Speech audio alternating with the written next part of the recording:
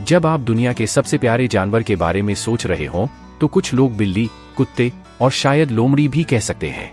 मिले लाल पांडा से, जो संभवतः पृथ्वी पर सबसे प्यारा जानवर है। ये छोटे स्तनधारी जीव पूर्वी हिमालय और दक्षिण पश्चिमी चीन के मूल निवासी हैं।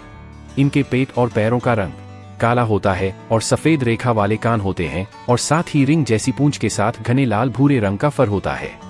इनका वज़न लगभग पाँच किलोग्राम होता है और ये तिरसठ सेंटीमीटर तक लंबे हो सकते हैं। लाल पांडा सर्वाहारी होते हैं, लेकिन उनके आहार में मुख्य रूप से बाँस की पत्तियाँ, अंकुर और फल जैसी खाद्य सामग्री शामिल होती है। लेकिन ये कभी कभी पक्षियों के अंडे और कीड़ों को खाने के लिए भी जाने जाते हैं। लाल पांडा विलुप्ति के कगार पर हैं और अधिकांश एशियाई देशों में कानूनी रूप से संरक्षित हैं।